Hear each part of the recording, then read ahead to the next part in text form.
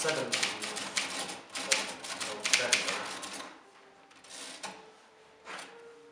we remember the memory of Jan Opletal.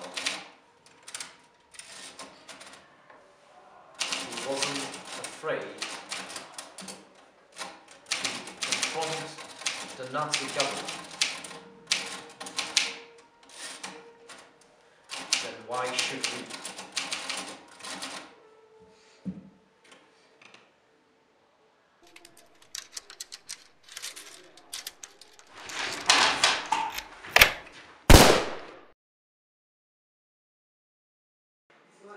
Oh man, it's 35 minutes. We have to go into the class.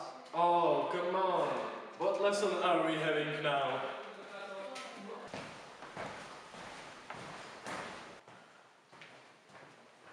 Hey, don't sleep now.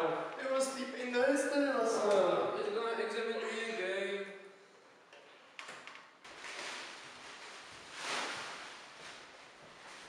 Hello everyone, please sit down. So, who's gonna tell me what day is it today? Yes? It's your wedding anniversary. Today we are celebrating the 30th anniversary of our freedom. Man, is it Instagram time? Yes, man. 30 years ago, we demonstrated for the freedoms that you have today. And I'm not going to tell you what I heard or what I read today. I'm going to tell, tell you what I've experienced by myself. So you are trying to tell us that you were there? Yes, I was, but before we start, I want to ask you, what does freedom mean to you? Well, in my opinion, freedom means that I can say, write, and defend whatever I want without any hindrance. I think that freedom is, for example, that you can come home whenever you want to, and you can become whoever you want to become in your life, and that you can go wherever you want to go, whenever you want to go, and you can make your dreams come true and live the life Tom, turn on to Instagram for a second and wake up Yarya, would you? Well, actually, you're both right. We couldn't say anything we wanted without restrictions, and we couldn't even go beyond our own border. And exactly 30 years ago, we tried to get our taken freedoms back to us. But we will have to start from the beginning, back when I was the same student as you.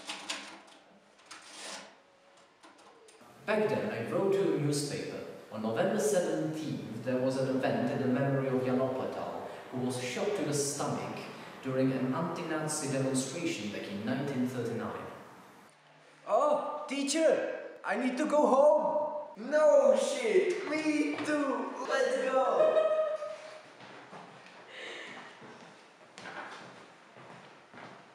I wrote that tomorrow during the event there will be a demonstration. Around 1500 people have come. Well, in any case, there was quite a lot of us. We were shouting slogans such as Masaryka na stovku or do koše. Around half past six, the demonstration officially ended. Majority of the demonstration was formed by students. We wanted to reach the city square, but the police cordon blocked the streets and didn't allow us through. But we didn't give up and tried to get there anyways. Around half past six, the demonstration was dispersed with violence. This united our nation, and the next day, the people had voiced their support for the students and disagreed with the hard intervention. 200,000 people have attended the demonstration at that point. Representatives of the Communist Party have sent members of the People's Militia at us.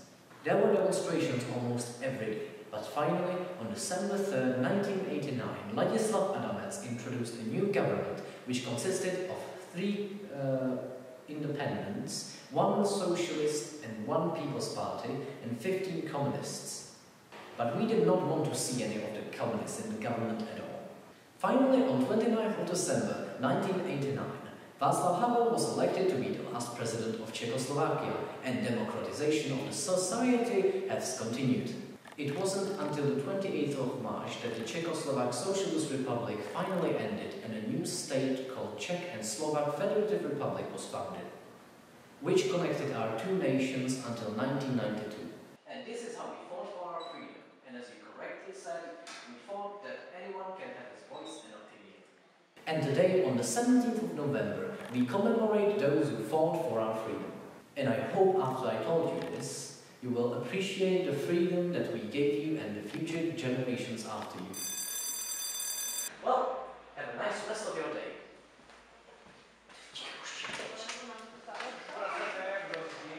That was a great lesson. Yes, and